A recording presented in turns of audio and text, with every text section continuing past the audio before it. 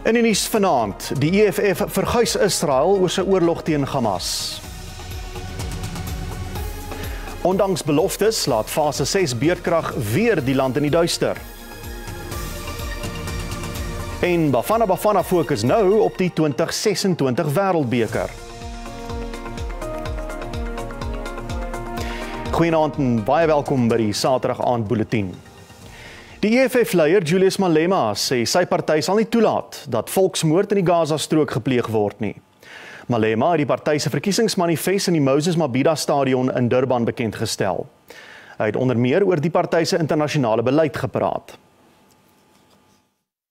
We thank you, the people of South Africa, for loving the people of Palestine. Continue to show them love against apartheid Israel. Russia is our home and South Africa, Palestine is our home and Palestinians must know they've got a home in South Africa. Malema het die oorlog in die Gaza-strook veroordeel. We will never retreat. We are not scared of the Jewish power. We will never surrender to the Jewish power. We will surrender to humanity. We will surrender to self-determination of the people of Palestine. Die party is ook bekommerd oor konflik op die vasteland. who are, who are with the people of Western Sahara against Morocco because we know that Morocco has occupied the land of Western Sahara. Hy het hulde gebring aan die ontslape Namibiese president Hage Geingob en sy party se solidariteit met die burgers van Eswatini, Kuba en Rusland herbevestig. Eskom sê sy tegniese werk onverpoost om die huidige elektrisiteitsvoorsieningsbeperkings die hoof te bied. Die nutsmaatskappy het oornag beerdkrag tot fase 6 verhoog nadat twee opwekkingseenhede onklaar geraak het en om opgaardamme aan te vul vir die week wat voorlê.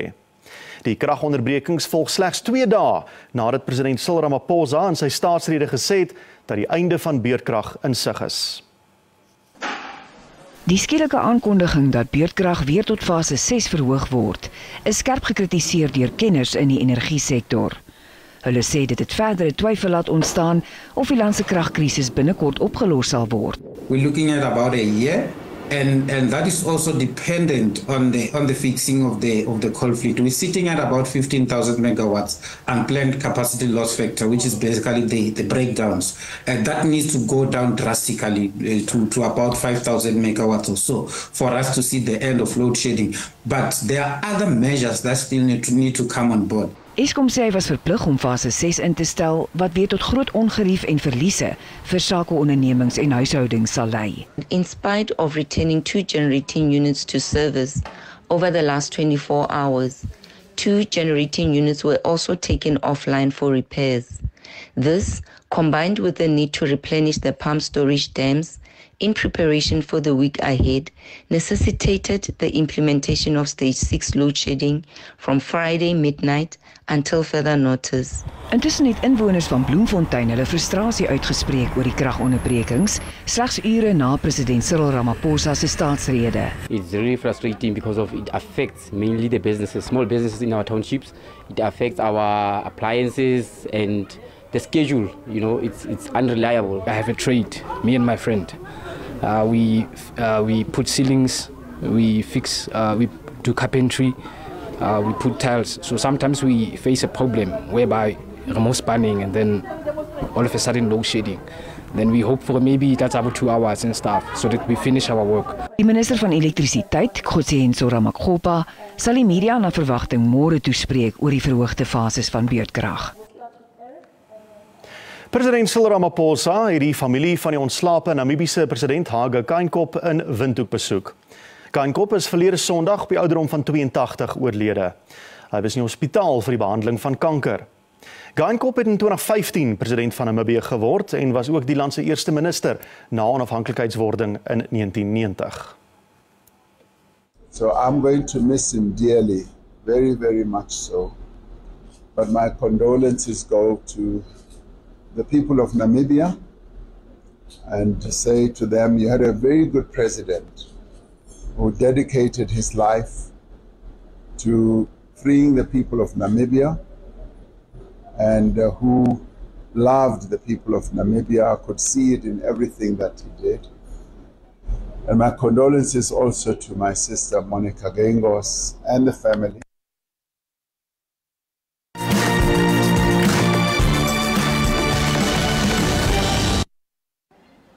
Die Zimbabwese regering het besluit om die doodstraf in die land af te skaf.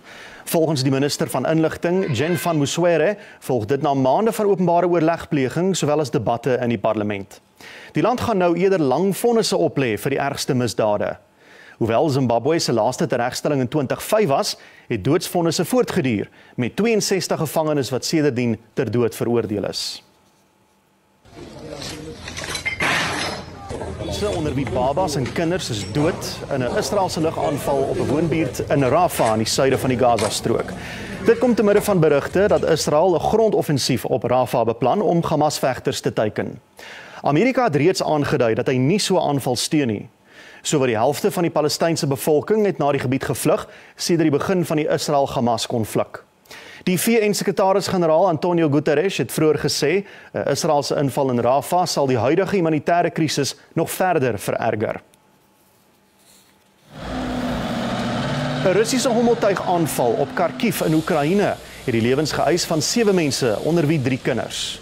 Die Oekraïense lugmag sê 23 van die 31 hommeltuie wat in Kharkiv en Odessa streke geteken het, is afgeskiet. Drie hommeltuie het 'n volstasie getref wat reuse brande veroorsaak het. Minstens 15 huise en ander infrastruktuur is ook beskadig.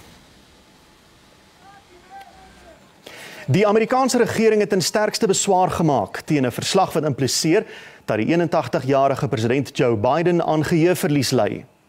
Die Amerikaanse visiepresident Kamala Harris het die verslag as polities gemotiveerd bestempel. Dit volg na 'n 15 maande lange ondersoek na Biden se hantering van geklassifiseerde dokumente. Die verslag het bevind dat hy nie strafregtelik vervolg kan word omdat hy nie die dokumente in 2017 oorhandig het nie na sy termyn as adjunkpresident tydens Barack Obama se bewind. Die 27-jarige skilder Junior Olifant van Rodepan naby Kimberley is na die Berlynse Galeria Azur kunsgalery in Duitsland genooi om sy kunswerke uit te stal. Die jong kunstenaar het die kompleksiteit en struikelblokke van die bruin gemeenskap asook die ryk kultuur van die Khoi en San gemeenskappe in sy skilderye vasgelê. Junior Olifant sê sy skilderye verteenwoordig 'n kulturele identiteit. Kunswerke wat hy verlede jaar by 'n uitstalling in Londen gesien het, het hom gemotiveer om die verhale van die bruin en Khoi en San gemeenskappe deur kuns te vertel.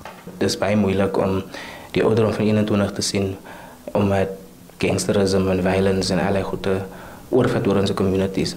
En ek dink die grootste root of evil hoekom onze leerlingmense die challenges face is because unemployment speel 'n baie groot rol. Die tema van die uitstalling in Berlyn is om kulturele identiteit aan te moedig. Volgens Olifant is sy skilderye The Messiah Complex en Children of the Sun gepas vir die uitstalling. Die twee cases van die twee paintings wat die gallery in Germany gekies het, is van 'n series met die naam Children of the Sun. Die eerste painting van Lady Justice is die painting se naam is The Messiah Complex. Am rede kom ek die Messiah Complex genoem het is van ek voel ek wil 'n change bring in my communities. Olifant se skilderye sal na verwagting van volgende maand af in Berlyn te sien wees.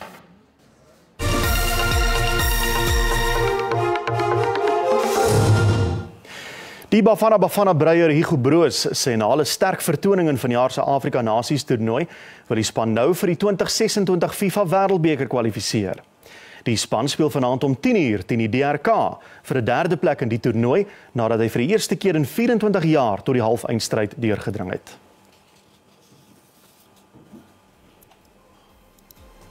En dis die einde van hierdie Saterdag aand bulletin. Die Afrikaanse redaksie groet tot môre aand weer om 6:00. Totsiens.